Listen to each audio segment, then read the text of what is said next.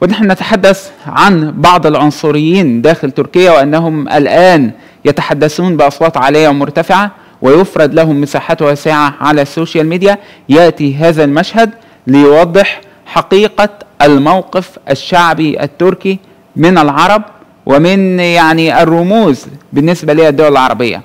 ترحيب حار وغير طبيعي من قبل جماهير نادي جلطة سراي التركي واحد من أبرز الأندية التركية إن لم يكون هو النادي الأبرز.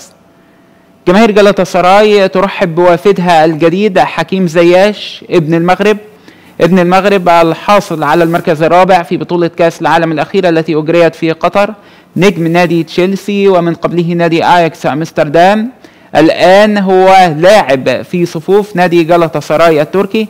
الآن نادي جلطة سراي التركي متخم بنجوم من ضمنهم إيكاردي وموسليرا والعديد من النجوم. والآن انضم إلى هذه الكتيبة النجم المغربي حكيم زياش الذي تحدثنا عنه مرارا وتكرارا عن أفعال الخير التي يقوم بها بحق أبناء المغرب الحبيبة.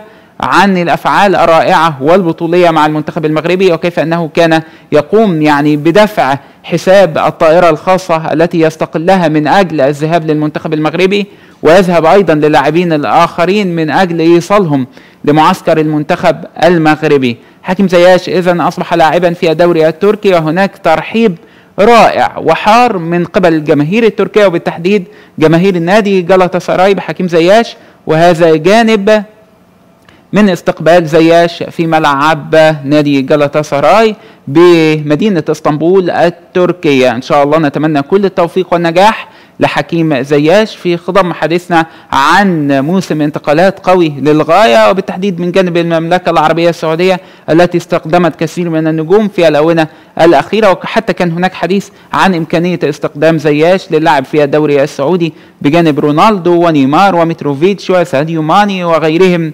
من النجوم